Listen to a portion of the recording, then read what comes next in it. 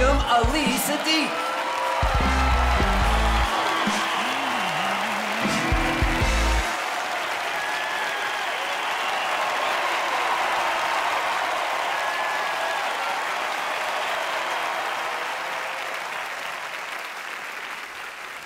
Hey. How y'all doing? How the rest of y'all doing? Let me say this. Let me say this. I've been thinking about this too. Father's Day is the worst holiday in the world. I've done the research, I already know. Let me tell you something. Mother's Day is the second most celebrated holiday in the world. Christmas is first. So that means it's Jesus, then your mama. You know what Father's Day fall at? Number 20. I can't think of 18 other holidays. Do you realize Halloween is number six? Does that mean ghosts and goblins go before fathers? Arbor Day is number 13. I don't even know what that is. I just know it come before me. That's crazy. Columbus Day is number 16. Celebrating Columbus Day is like celebrating somebody finding money in your house. Where you get that $50 from? I discovered it in your kitchen. Ridiculous. Fathers, and, I, and it's mother's fault. It's mother's fault. Because see, when Mother's Day come around, fathers go in their pocket deep Go in their pocket, deep. hey, I want to give my mama something. You cash that money out. You know what mothers do? Hey, I want to get daddy something. Well, go in that car. It's some change in my little cup holder in there. Don't nobody even have a sale for Father's Day. Who has a Father's Day sale? Mother's Day sale is like 30 of them. Everybody have Mother's Day sale. Don't nobody have no Father's Day sale. Who has Father's Day sale? The dollar store. That's how you get water hose and jumper cables for fathers. And the stores know this because now the store got a little trick for fathers. They make little packages where they, a little box, give you suspenders, socks, and a shirt. One box. And you know what kids do? They give you that stuff throughout the year. They give you that shirt for Father's Day, them socks for your birthday, and then they just randomly give you something else as you know they think about it. It's crazy. Father's Day sucks. And I'm a father. I did all this work to be a father for it to suck. and I'm a good father. I don't, I don't, I don't lie about my kids. I just keep my kids where they are. I have a daughter. She's a beautiful kid, but she's insane, very much insane. Cause see, she's been doing, she's a swimmer. I'm just gonna tell you that. She's a swimmer, which is not a predominantly black sport. Let me tell you something. Because when you go to swimming, when you're a black parent, you go to swimming, they know that you're there because you're there. You're just like a like a Oreo. Just you just in, you just out there. So, my daughter's very arrogant now because she didn't want a lot of races. And you know, when um, we first started swimming, I used to think that the kids were saying little racist stuff about my baby because she would walk in and they were like, "Oh my God, they go to Black Seal." I was like, "What? Don't be calling my baby no damn Black Seal." then this white dude said, "No, no, man, it means that she really fast." Got me out there rooting Go Black Seal. Go Black Seal. But the problem with my daughter is this. I've been tracking this little white girl named Sarah Brown. Been tracking Sarah. I think Sarah's really fast. Know all the numbers. Know all the tracking. My daughter's very arrogant. She don't even carry her stuff out the truck no more. She just get out the truck and just walk into the pool like I'm her assistant I'm walking in with all her bags.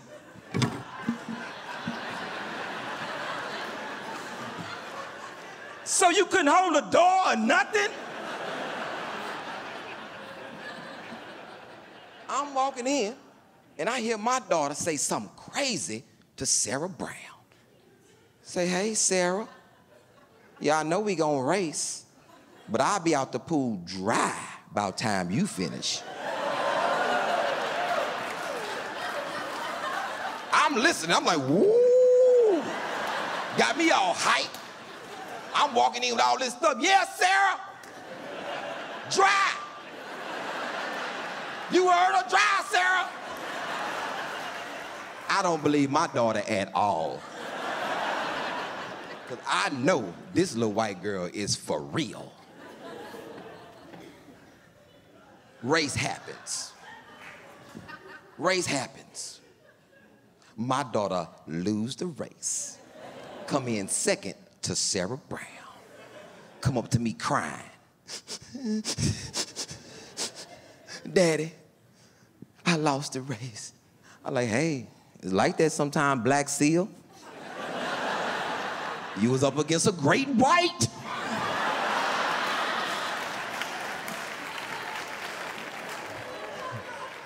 People kill for love. I don't want to be killed for love. Because, see, it's trigger words for me. Trigger word. In a relationship, in the beginning, if somebody say, you know, I love hard. Ooh, that's crazy. Because it don't sound like that to me. It sounds good to you. I love hard. To me, it sounds like you gonna be on cold cases. if you in a relationship with somebody and they say this to you, I can't live without you. Oh no, oh no, oh no, oh no. Breaking up. I'm gonna find a way to get out of that relationship. Break it up that day. Hey, that, that sounds like I can't leave you. You can't leave without me, so I can't go. That sound like forensic files. You about to be on the news, boy. Tell you people, I live in a gated community. Black people don't judge me because they trick me. They trick me. White people trick me. Because on the brochure, it was real multicultural on the brochure. It had everybody on that brochure smiling like they lived over there.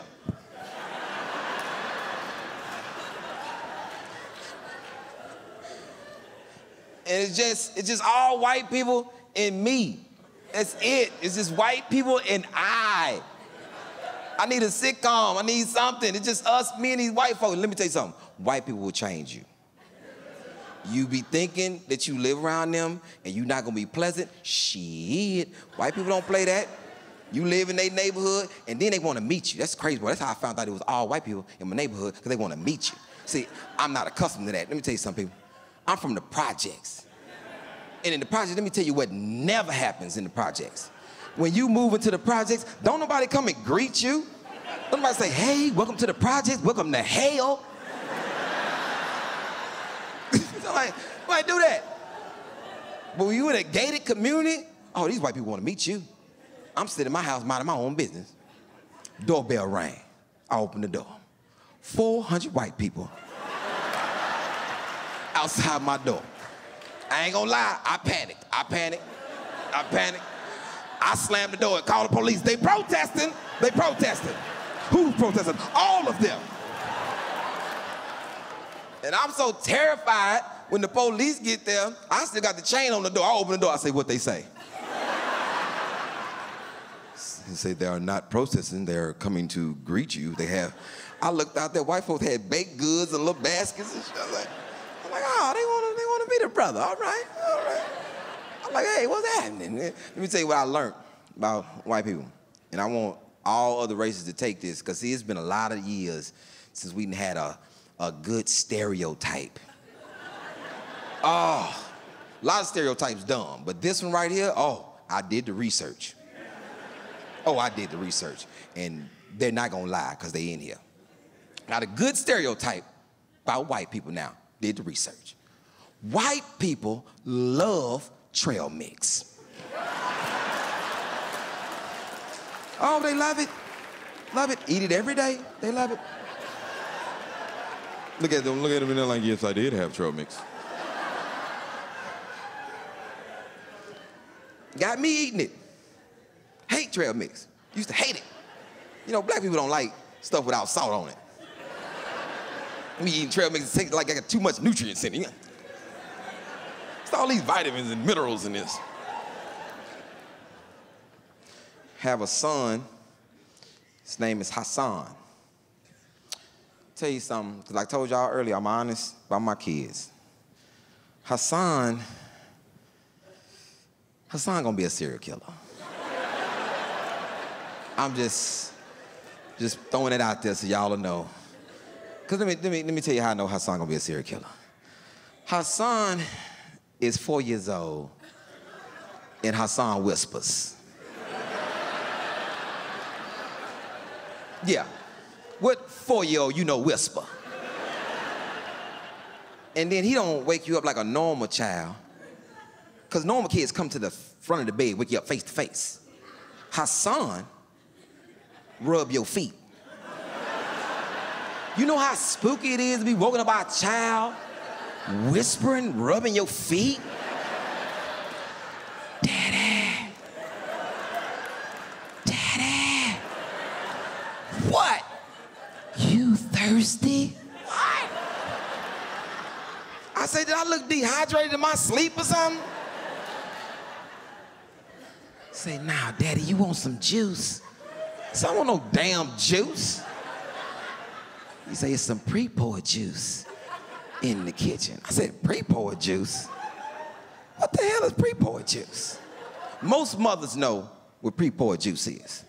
This is juice that he poured for himself that his mother told him he cannot have.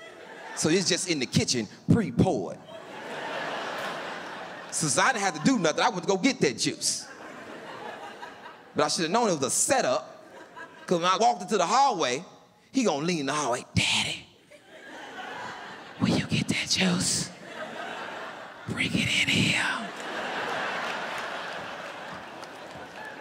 So we in his room drinking juice, minding our own business. His mama busts in the room. Why the hell are you letting him drink that juice? I said, I don't know. She walked out mad at me. I went right to my son. I said, hey, man, you got me in trouble. My son went to my ego. How you gonna get in trouble? You daddy. got me all riled up. I said, you goddamn right I'm daddy. I bust in the kitchen, hey, who the hell are you to tell me that my son can't have no juice? Say, I'm the one know your son is allergic to grape juice. Like allergy allergic? I look back, my son was swelling up as we was talking. He just getting big. I, two hours later, I end up in the hospital with my son, whispering, rubbing his feet. Hassan, Hassan, daddy messed up. Boy four years old, I don't know everything about him.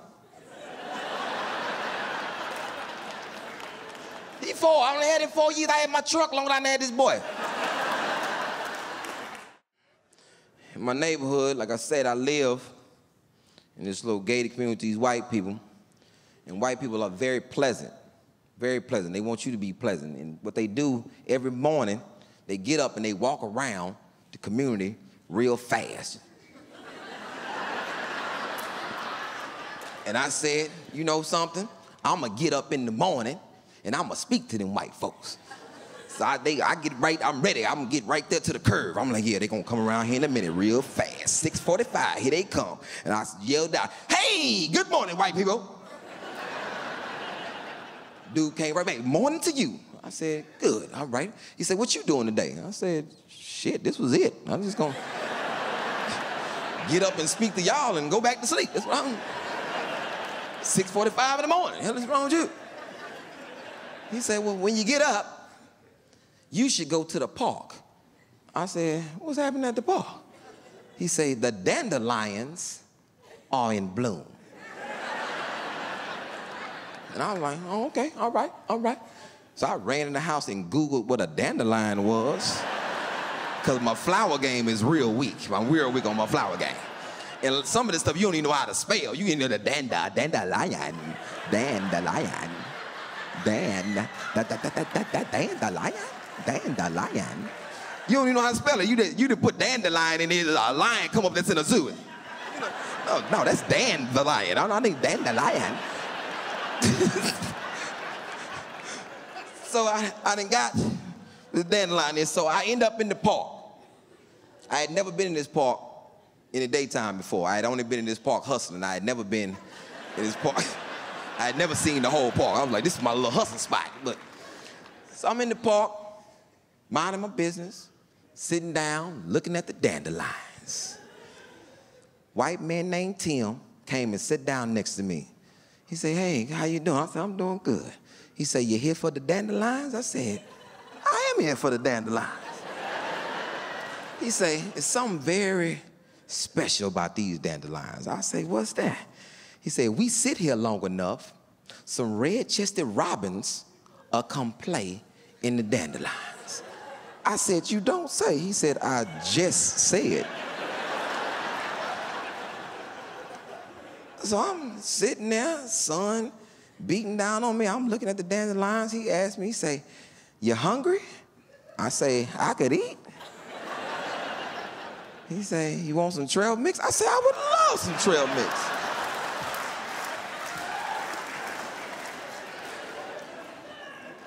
So, sitting there, eating trail mix, he had a tuna fish sandwich too. He said, you want half my tuna fish? I say, I would love half of your tuna fish.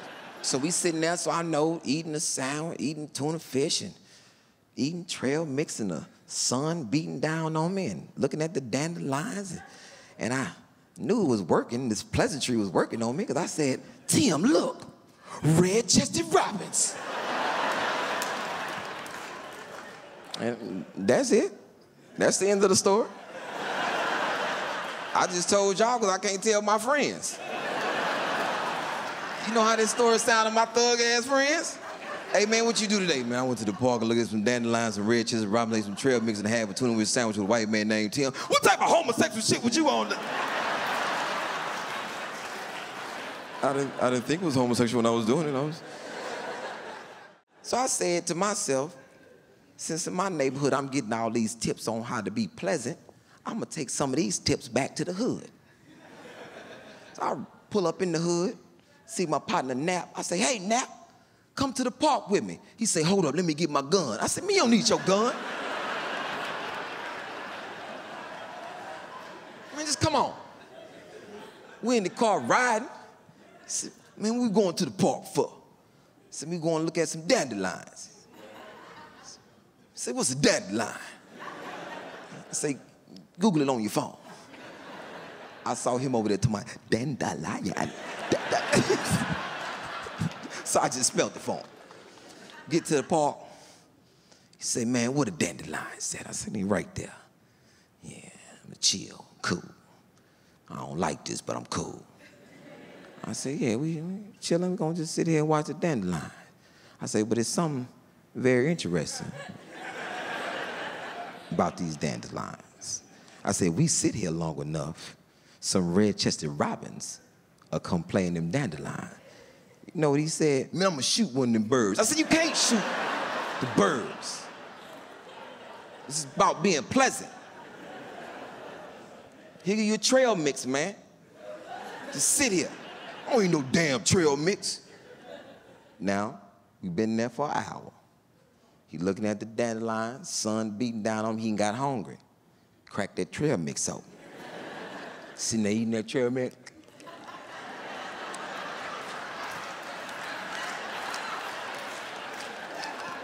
Yo, what's these little red things right here? I say them cranberries. Yeah, the cranberries.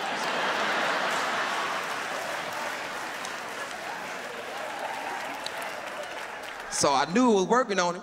I knew it was working on it. Trail mix, the sun, dandelions. He eat trail mix, turned to me and said, Lee, look, red Chester Rockets. we riding home. He talking about the little trip. He, yeah, man, that's cool, man, dandelions. Trail mix, man, cranberry. I'm gonna get some of that. Where you get that from? I said, man, them birds is beautiful, man. Them birds is beautiful. Pull up to the hood, he get out. Do you know he gonna lean back in my damn car? After I done had a good time with this boy, he gonna lean in the car. Say, man, let me tell you something. Don't you tell nobody I had a good time at that park.